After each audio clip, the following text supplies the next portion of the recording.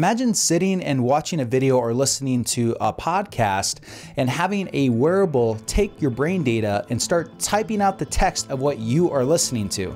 And then imagine being able to sit with that same wearable and create text from imagining what you want to say and have it appear almost instantly on the screen. A groundbreaking study from the University of Austin has just revealed how we can use wearable brain computer interface technologies to create thought to text capabilities in the next five years from non invasive language decoders. Researchers were able to use an artificial neural net, much like ChatGPT, to generate a script of what research subjects were watching or listening to simply from their brain scans alone. Within the study findings is a paradigm shift in where these signals were found in the brain that will influence how we're able to design wearable brain-computer interface technologies to generate thought to text and other related language capabilities.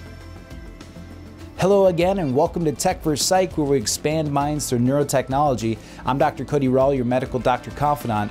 We're really stepping into the realm of science fiction here, and when I saw this study, it completely blew my mind and was a big paradigm shift in my thinking of what we're capable of doing with these wearable brain-computer interface technologies in the near future. The thing that should blow your mind is that these researchers were able to use non-invasive brain scans to generate text from perceived perceived speech, imagined speech, and even silent videos, much like ChatGPT does for queried responses. There are a few cases of BCIs being implanted into the motor cortex of people with disabilities through neurosurgery to create thought to speech capabilities, but the introduction of non invasive language decoders could be much more widely adopted and help all people interact with technological devices through thought by analysis of biosignals in the language centers of the brain. In order to get these experimental results, researchers were using a functional MRI machine that costs around $3 million and takes up half a room.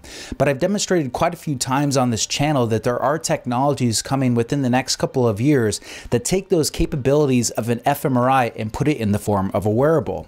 Kernel in particular has developed time domain functional near infrared spectroscopy that measures blood flows several times per second throughout the whole brain. In contrast to an MRI machine that costs several million dollars and takes up a whole room, the wearable Kernel headset costs around $100,000 right now, with plans to reduce the price significantly over the coming years. Combine University of Austin speech generation AI with Kernel's headgear, and I think that there's the potential for a demonstration of these language generating capabilities within the next year. In contrast, Mendi's continuous wave FNIRS is good enough for neurofeedback technology, but not precise enough for language generation. Regardless, Mendy shows that FNIRS can be fitted into a wearable for a couple hundred dollars, and I would expect the sensors that do have better signal to noise ratio to become much cheaper over time. Also, remember that kernel sensors are already modular, so kernel themselves could come out with a smaller, cheaper wearable at any time. It is my belief that kernel could actually reproduce these results within a year or two. In fact, two years ago, kernel was able to demonstrate similar capabilities with their OpMeg,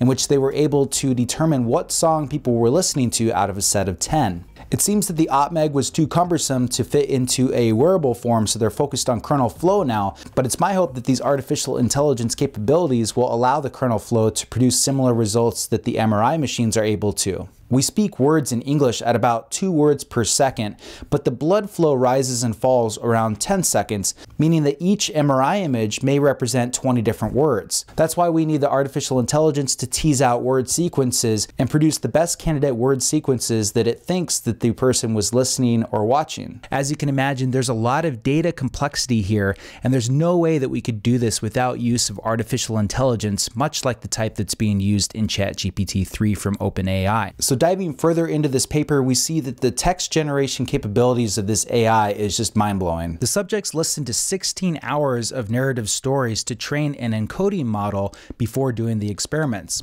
Then subjects listened to an entirely new story. The researchers found that the decoder exactly reproduced some words and phrases and captures the gist of many more with 72 to 82% accuracy throughout the stories. For example, in a narrative story that a test subject was listening to, the following passage occurred. I didn't know whether to scream, cry, or run away, but instead said, Leave me alone. I don't need your help. Adam disappeared, and I cleaned up alone, crying. From the brain scan, the AI generated text that stated, started to scream and cry, then she just said, I told you to leave me alone.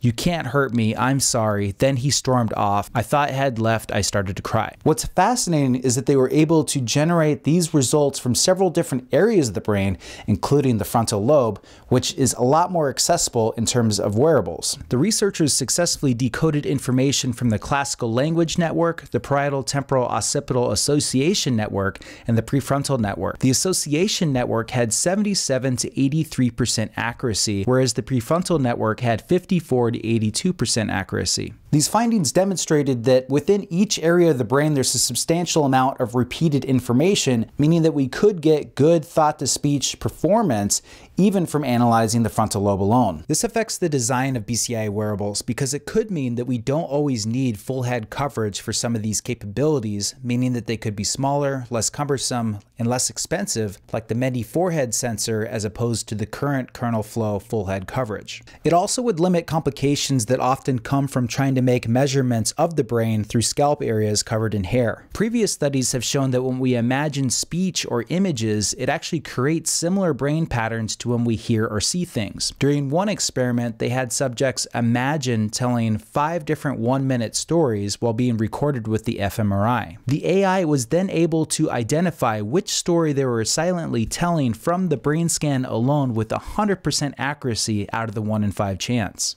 In another experiment, they had subjects watch four different films without sound and generated the following audio descriptions. Just look at the text generated from a brain scan of this movie.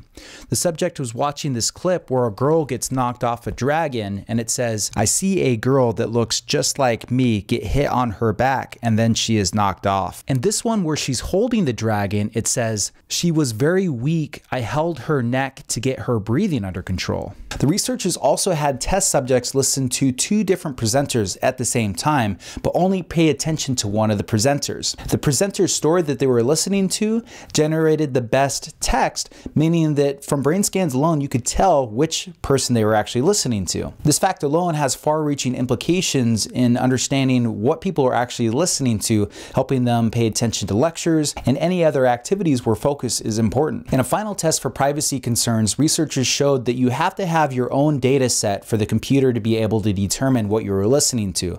Taking a 16 hour training set from one subject did not allow the computer to read another subject's perceived speech. Also, even for the people that had done the 16 hour training set, if the computer tried to determine what they were listening to with that training data set, but the person was either counting by sevens or imagining an animal or thinking of a different story while they were listening to a story, the computer could not determine what they were actually listening to. That means that you can actually block the mind reading effects of the computer if you choose to do so. So at this point, it looks like you can't just throw a headset on a random person and read their thoughts if you're interrogating them or other apocalyptic predictions that the brain computer interface technologies might be able to do. And even if someone had your private data training set, you could actually block the effects of mind reading capabilities from brain computer interface technologies by doing things like imagining something else. These thought to text capabilities from brain computer interface wearables are really the convergence of two different technologies.